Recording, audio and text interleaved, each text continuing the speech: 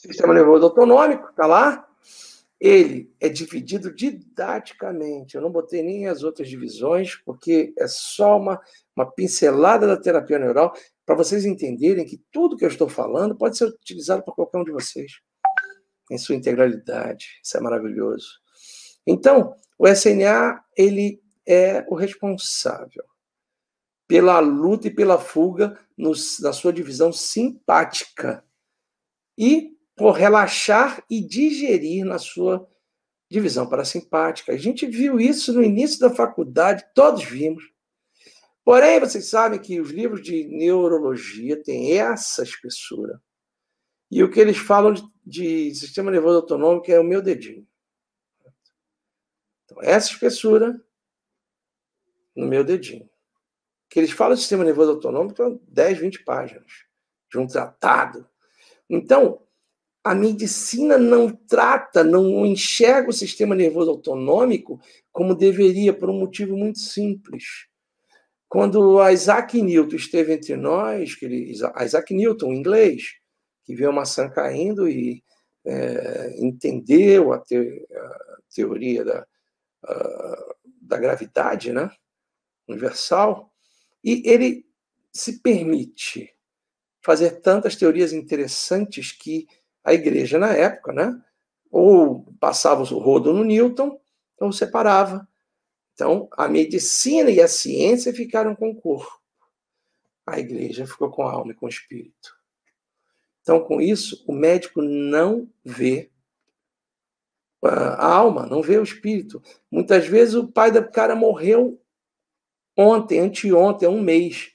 E o médico vai tratá-lo do mesmo jeito, como se tivesse morrido há 20 anos e ele já tivesse feito luto. Não faz diferença.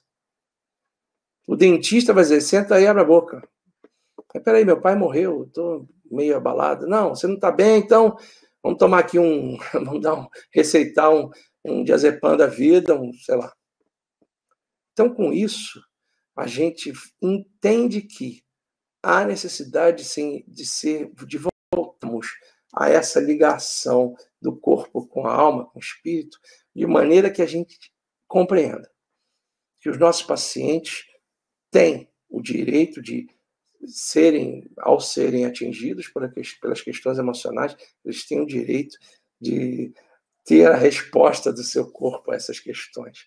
Então, o sistema nervoso autonômico é dividido em simpático, quando você se prepara para a luta para fuga. Exemplo, você está lá na África e, de repente, você vê um leão.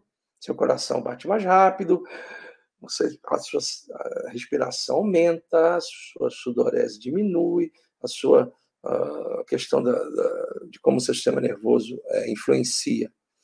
O sistema digestivo ele paralisa, ou seja, o simpático prepara para a luta e para a fuga.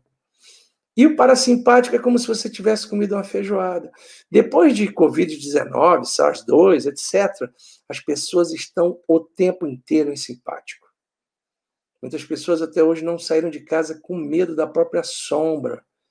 Eu não estou dizendo isso ou aquilo, eu estou dizendo que isso, você ligar a televisão todo dia e um sujeito lá que ganha 900 mil reais por mês, bonitão, dizendo assim: você está perdido porque o Covid agora tem 100 mil vítimas. Ferrou, maluco. Se a pessoa não tem uma, uma, um entendimento um pouco maior acerca da vida, ele acha que aquilo é verdade absoluta.